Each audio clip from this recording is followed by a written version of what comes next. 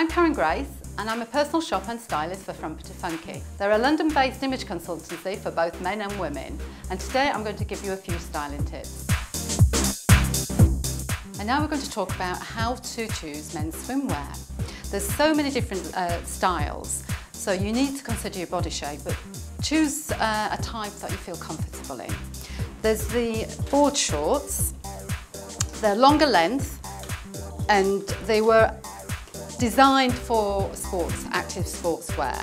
So they do have a Velcro fly and they tie at the front. And so they do look like they would fall down, but they're quite secure because they were designed not to, uh, for, for, they were designed for surfing. So they um, can take the force of a strong wave.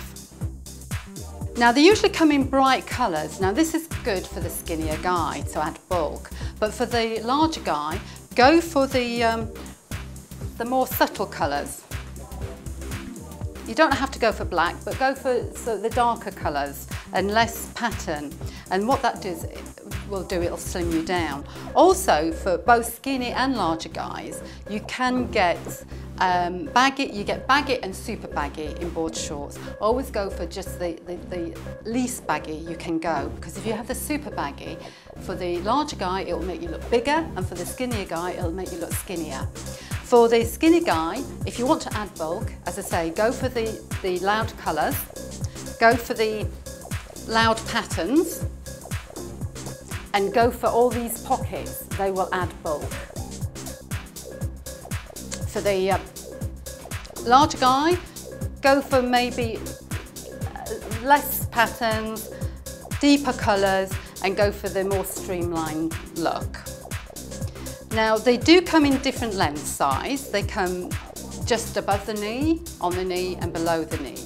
Now if you're the shorter guy, you need to go for the shorter board shorts because these, the length will make you look shorter. So always try to go for the shorter style.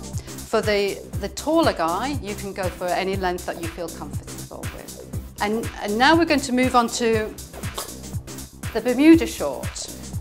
This is shorter in length to the board short. It still can be baggy, but it's not as baggy and it has elasticated waist.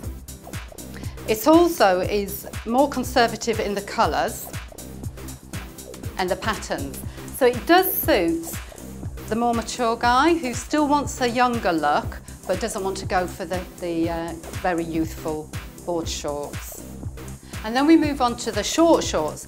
Now these are quite, they're coming in fashion and they have a retro feel to them. So they're, they're better for um, expose more leg for if you want to have uh, tanned legs. They're also good for the, the shorter guys because they do expose more leg and so therefore you look taller than if you were wearing the Bermudas or the board shorts.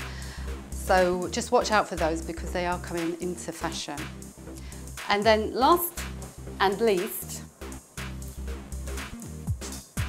are the boxer shorts and the briefs, the swimming briefs.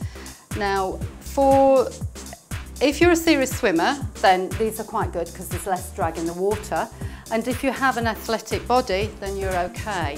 But they don't actually um, disguise any imperfections. Now, they're not that popular in the UK or the US, but they're very popular in, the, in South America and the rest of Europe. And in some places, such as France, these are the only types of swimwear men can wear in the local swimming pool. So if you're going to France, you need to consider that as well. And that's how you choose men's swimwear.